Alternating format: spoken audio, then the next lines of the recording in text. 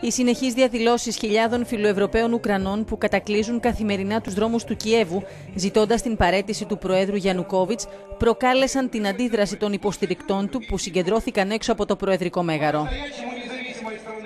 Κρατώντας πανό με συνθήματα υπέρ του, εξέφρασαν τη στήριξή τους στις γεωπολιτικές επιλογές του Προέδρου.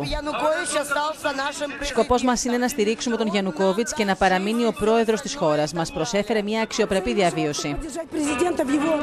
Είμαστε εδώ για να στηρίξουμε τον πρόεδρό μας αυτές τις δύσκολες στιγμές που η κοινωνία κλονίζεται. Ζητάμε από την αντιπολίτευση να χρησιμοποιήσει πολιτικά επιχειρήματα και να αποθαρρύνει τους πολίτες από το να είναι στους δρόμους перешли уже на политические правила решения данного вопроса и забрали людей с улицы. Οι συγκεντρωθέντε υποστηρικτέ του Γιαννουκόβιτ, που έφτασαν του 15.000, υποστηρίζουν πω δεν αντιτίθενται στην ευρωπαϊκή προοπτική τη χώρα, αλλά θεωρούν πω τώρα δεν είναι η κατάλληλη στιγμή.